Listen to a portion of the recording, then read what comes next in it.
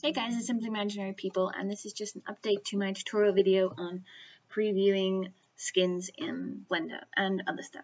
So I'm just going to open Blender and just going to first of all import the toddler face and import the toddler scalp object. Then I'm going to press 5 and 1 on my numpad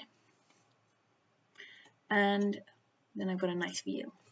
Now what I'm going to do is the first thing I'm going to do is I'm going to go to this world thing here and I'm going to put on ambient occlusion, environmental lighting, indirect lighting. Then I'm going to switch from the top from blender render to cycles render. I'm going to right click on the face so it's selected and go here to the materials tab. Press new and here under color press the dot and open image texture and then I'm just going to load one. And if I go here at the bottom, from solid to material, I'll be able to see it. I'm going to do the same for the scalp.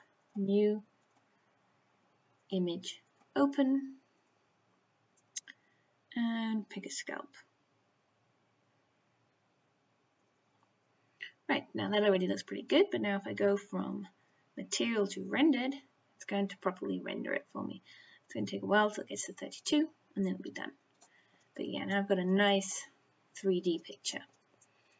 Now the same also works. I'm just going to start Photoshop while I'm doing this.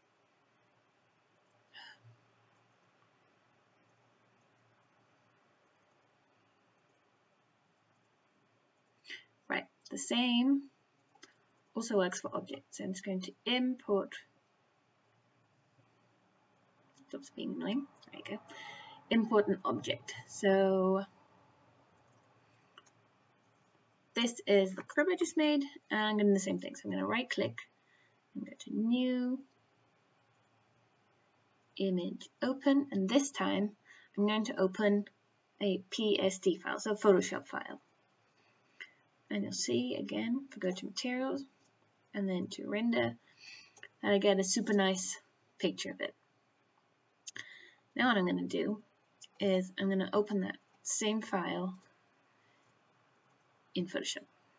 You can see maybe I'm editing my textures or I'm adding tattoos to a skin and I'm working in Photoshop. I'm just going to change it a bit and then I'm just going to press save like you would do.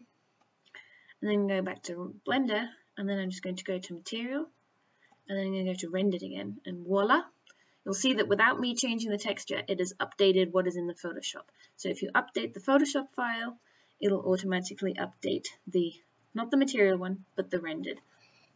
And in this way, it's super easy if you're adding tattoos to a skin to just press save in Photoshop and just straight away see it without having to save it as an image file or something. So yeah, that's pretty much it. That's just a quick way to preview textures.